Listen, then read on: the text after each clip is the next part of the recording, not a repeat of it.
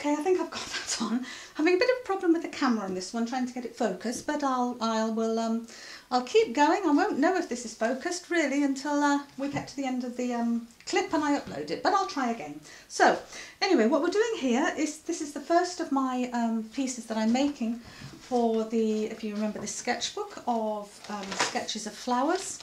Um, and this is the first one I'm doing um, for the language of flowers and it's going to be for the concealed gallery with art textiles at Festival of Quilts.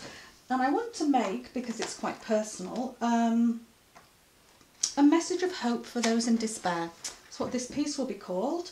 And it will actually have five um, flowers in it. Um, and I would, this would be a bouquet that you would give to somebody who was depressed perhaps, um, or grieving or sad. So one of the flowers I want to include is the snowdrop, which um, within the bouquets that the Victorians gave stood for consolation and hope. So he will be central. Um, this is my sketch that I drew.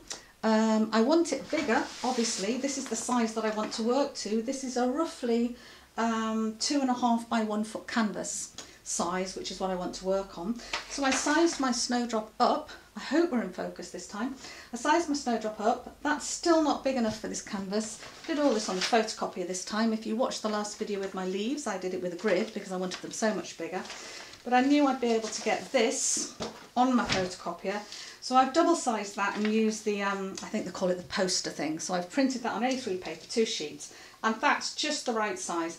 The canvas is here. Actually it isn't, that's not it. That's not the canvas. We might miss out the canvas because I can't, I can't see it handily. Um, it's, ah, it's here, look, hang on. Hang on, hang on everybody, here I go. Let's just so that's the size of the canvas and that you can see is going to be a nice size for the sketch on it. So what I want to do is I could have done these on plain white backgrounds as I did in my sketchbook but I would call myself if anything a collage collage artist. I want to collage a background. So I've got myself some felt which is my favourite um, backing to work on. It's very stable, it's an acrylic wool felt, good quality, um, will take a lot of stitch um, and is perfect what I want. And I can then mount this onto my canvas. So I've got my image and I've chosen fabrics here. That suggest snowdrops to me. So I'm looking at kind of winter. So these pale blues um, a lot of purity of it, a lot of white. I've picked out some white fabrics. I've chosen vintage fabrics here because I like um, I like the idea of them coming from vintage pieces. So these are from old embroideries old tablecloths. Got one here which is probably from an old um, tray cloth or something. I love to use these pieces. Got lovely little, um, I would tell you what that was if I could remember, like a little coaster. Um, so, and some lace. So those are the fabric, that's the fabric palette I've chosen. So I'm going to start in, absolutely love that piece. It'll be the difficult piece because I really want it in there. Um, so I'm going to start in and just make my collage and my, my aim here is to get this covered fairly quickly because then I can make decisions. So I've cut out my snowdrop a bit um, so that I can actually try for size and try with the fabrics I'm putting down. Put them to one side for the moment. And I like to kind of pick something fairly big to begin with. So this piece here would do nicely. This is from a vintage tablecloth. This is the lace edge. I've chopped it off. It's very beautiful.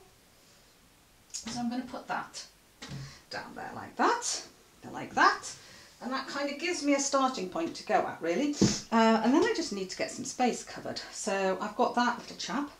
He's very pretty. That is actually, I think, um, a little snowdrop, a little embroidered snowdrop. So I would like him, you know, which is the front and the back here.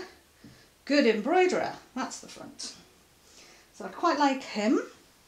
Um, I've got plain white which could be useful. I'll save that for the moment. Um, that could be useful when we're trying to fill in. This is a nice piece, I think, of embroidery here. Perhaps I could use that down there somewhere. That might look nice. Let's see what that's like. Um, I have made this once, to be honest with you, because the, the video went wrong, but it won't come out the same. And I will say this with students, don't worry about whether you remember what you did, because you'll do something else equally as nice. I know I had that down.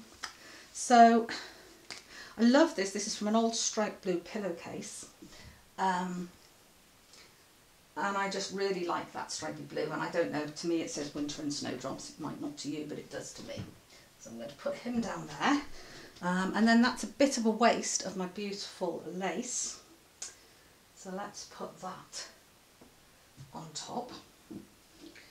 Um, we need something, I quite like darker things at the bottom. Um, this here, this I'd like to keep that little feature in there which is going to be tricky because he's right on the edge. I think, here's my line, this is why I draw it, so that I can see where the edge of the collage is. Ah, hang on, I'm a bit off camera there. Here, the edge of my collage is here.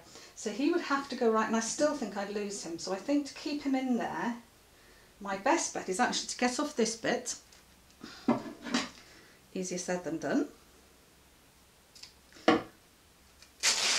Okay, which could wrinkle things up. Whoops, that wrinkled things up. I um, I don't want to move too much because I've taken a long time getting this sorted, but oh no, that's my bosoms going in there, we don't want that. Um, right, that gives me some hope, some chance of getting him in there. I think really um, we're going to, let's put him underneath there. Like that. Going to need something underneath him here um, and I can't have had it like this, so because there wasn't this problem last time. So um, what about that? Look, it's just a little piece, it's an off piece off there. And it's folded, but that doesn't matter. That does rather nicely down at the bottom there. I like that. I like that a lot, actually. So let's put that down there and that, and I've managed to keep him in there now. What else have I got here? Um, there's my gorgeous fabric that I really love. Would love to use this here somewhere, but it's it's quite strong. Could could go in here maybe. Um, sure about those. This is the same little motif, but they've got pink in. I, I don't I don't know that I want pink in there. We'll see. Um, I've got yellow. Sort of quite pale yellow. I'm hoping that's a kind of spring-like buttery yellow. Maybe maybe might put that in too. We'll see. Um, what else have I got? That, oh, I've noticed that before. That's got the most beautiful frayed edge on there. So I would really like, actually that makes a nice base. I like that a lot. Um, I need to decide, to move that for a minute, whether I want the lace over or under it. I think under and over the bottom. I think I like it like that. So there's just my little precious treasure down there. I'm just making sure that that that I've got there, no, we're not central. Don't like things central. Um, it's, uh, it's one of those design rules, but it also happens to, to be true of me that I don't like things being logical. Like that there. Need something at the top. Maybe some blue goes down there. I think I prefer the blue over there. And this is nice. This is nice. This is the stripes that we've got here, but going in a different direction. I like that. Um, but it's a very thin piece. It's um, it's not going to fill down there, is it? We've got any more of that? I can see a piece down here. That's a nice piece, but still not big enough. That's a nice piece. That is big enough. Okay, so we put that down there. Now, do I want that over or under there? I think still under. I think we'll keep that nice green frayed edge perhaps right across the bottom. I love that contrast of the two stripes there. Where's me? Let's just have a check of my flower at this point where we're going. Okay, that's working nice. I'm going to want my flower across this side a bit.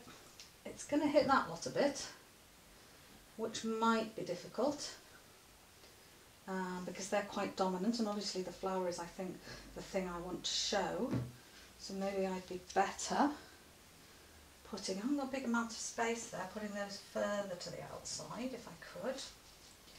I probably could. Um, let's tear this so we can see what we're doing with it. That's actually, they're right on the border there. Can't get them much further in than that. Um, but I think that could, I, I'm, I'm uncertain about that. We'll think about that. I do like it. Um, I'm not sure it's what, I wonder if I put that, oh, just fits, across the bottom here. Where there's less, and then put this lovely piece into here. I wanted, I wanted that frayed, I liked that frayed edge at the bottom because it reminded me of grass, I think that's why. No, I don't like that as much. I like, whoops, I like my frayed edge. What am I doing for time? I'm not bad, 10 minutes, 10 minutes. I've never made a collage against the clock before, but I know I've got about 25 minutes here, then we turn off. That yellow is distracting me. I'm going to get it out. Better, better. Not better, just for me, it's more wintry now, it's more snowdroppy. Do I want that down there or do I want it under there? Ooh, I'm uncertain. I think I'll probably take it off the edge. That piece I will have to fold out so that I can get it off the edge, but I can do that off camera. I can fold that out flat, know it's there. Okay, we need something up this side. I've kind of rejected a bit. Um, more blue, I could certainly have more blue. Um, what else have I got plain white. You know, sometimes when nothing else seems to be answering you, maybe just a bit of plain white tablecloth. It's a nice old bit of linen. Look at that looks good there. What about that? Oh, I like that. And I could have, perhaps, there's too much white there, I can see that. But maybe my lovely piece of that in there. Um, let's try that once more. I do think it's so pretty. But I've got to remember that this collage is about the snowdrop, not about the grapevine. And although that is incredibly pretty,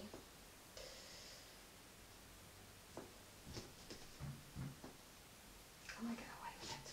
Do I get away with it, folks? Do I get away with it?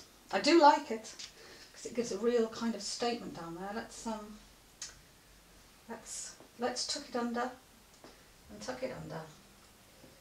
Check where the line of where my edge is. My edge is here. So actually it's going to have to go further. This is the trouble, it's quite wide. What I'd like is something like that, but not as wide. But let's try that because I'll show you how I'm going to deal with some of this at the end. Okay, so my snowdrop. Maybe, maybe if I just do less of it and stop it there. Better. Right, let's make that decision and cut it off. A bit brutal. And that's a decision made now, because that means, hopefully you saw that, what that means, that means that where I'm going to position my snowdrop is going to come above it. So that's going to work. Okay, so we, we need something up this side, I think green, to balance with that did like that blue piece there, but let's just get some green balancing in. Whoops, that's moved. Get back, boy. You are here. That's your job. Is to be on that edge. So don't start messing me around by not being there. It's good to talk to your fabrics. Okay. And the green up there. I like that, not as much of it. That's put it in line with the other, I'm not so sure, but I need to make sure these stripes are straight. I'm anal enough that if there's a stripe, I like it straight. Or purposefully diagonal, but not an accident. That's very, very, very neat and tidy there, but um, I could maybe use, I liked the blue. That's quite a pretty piece with this, um, I pulled it off there. Even, remember the snowdrop in there. What about just, that piece? Thinking of covering up. That's better. Covering up a bit where those join. In fact, as luck would have it, that does go just under there. I'm going to rip that a bit narrower so that we know where we're at with it. Because, that doesn't rip easily. Okay, 14 minutes. Not too bad at all. Not too bad at all. So we can see there, because the edge is actually here, so there won't be hmm. such a big strip of green there. The strips of green will be smaller than they're looking. It's quite hard with collage to keep picturing this, but you get sort of used to it. Okay, so That's where my flower's going to go. Like that. I love that little piece there. Mind mimicking. Oh, do I want to do it with this little bit I've chopped off? No, too much, too much. That was really nice. That was really nice. Okay, I think I need something up here. Um, maybe I've got nice fat lace. Um, I am going to use lace later on. I'll show you how, but I think... Oh, that's nice. And it knocks that back, but still keeps it there. Oh, that's perfect. How far down? Right the way down? Right the way down. Under or over this. It's probably something I want to do with the camera, and I can't because I'm using it. Um,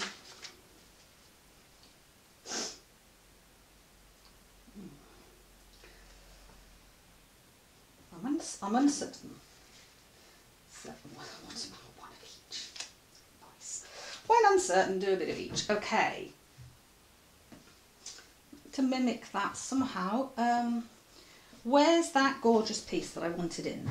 And which isn't now in. Where is it? Where? Hmm. Maybe it's not meant to be in. Ah, here we go. Right, two bits of it. Could I put this in somewhere up here? Ooh, nice, but I think it's going to detract. I think we need to keep it fairly low where this lot is. That's quite pretty there. Or I saw a small bit here. Sometimes this is just you doing it because you want to. And some of you will look at this and say, oh yes, that looks great. And others will go, no, no, no, no, that's awful. That's the nature of art, really. Nobody's going to, we won't all agree. I just so love this piece. I'm finding it hard not to have it in here. What if I put it under the lace? What does that do? Could I then get away with it perhaps? Yeah, but I've obliterated it as well, haven't I? Pointless having it like that. Could I have it in here where I've got this? What's that like? Have it like that. No, it's too busy down here then. I think, much though it grieves me, I think it's probably not going to go in here. It could go down instead of that, that's lovely and delicate down there. It could go up here somewhere, particularly if I took, you know, just a small patch of it up there. Almost, let's um, Let's attempt to trim some sort of a square. Could have it up, up there. Oh, I quite, I like that. I mean, it's, it's bizarre. It's not there for any reason, but I just like it. I might put a bit of a title on there, but I like, altogether, I like that. Now, I have to be aware that underneath here, I have kept it fairly light in the middle, but when all this comes out, this will be a black and white um, machine sketch on here. Not quite sure how I'm going to do that yet. But what I do know from experience is I need to make this, um, let's trim this lot so that you can actually see. Oh, fabulously not sharp scissors. Just make sure everything is roughly, I've left a bit of overlap there. Um, I need to put something under here. I could put plain white fabric, but that would cover this up very heavily and I've just spent quite a lot of time making it. So what I'm going to use is this, is net. Now I've got some dress net here, which is quite nice because you can play around with dress net until you get the level of knocking back you want. So you can see with two layers, it knocks it back a fair bit. If I do it with three layers, that's four layers actually, it knocks it back quite a lot, but you can still see the lace and the colour underneath. Now I won't be doing it right across, I'll be doing it in a shape that mimics this so that I can put my flower on there and thread sketch onto that net and it should show up. So I've got a choice of either net or the other thing I've got is, um, this is tulle, and dressmaker's tulle, and this is actually um, thicker, so I might not need as many layers of this. And what I have in my mind is to put down a panel of it for my flower to sit on. I'm probably going to need more than one layer of that um, so that my flower can sit on it and then to edge that with, I've got some beautiful antique laces here that I could edge with. So I would cut this off properly square and to where I want it to be. And then edge this panel with lace to sort of mimic these lines I've put in and the way a botanical drawing would be edged to show it off. So I'll fiddle around a bit with the tulle and lace um, but for the moment I'm happy with that background. I like it. I, oh, it looks so pretty but I know I'm going to put some there. I like it. It works. It's um, it's nothing like the same as I had it before but that's uh, maybe this was the way it was meant to be and that's why God made me have to do another video. So I'm going to put that there so that you can see. I will now take a photograph of this, a still one, so that I can reproduce this. I'll back all these with heat and bond and I'll get this stuck down. What I might do, I think, perhaps, is try and do um, follow through this one with you. So I'll then show you putting on the tulle and the thread sketching um, and you can follow it through. So, but that's all I need to do for now. So I hope that was interesting and I hope it's in focus this time. And um, I'll be back soon. Bye now. Find the off.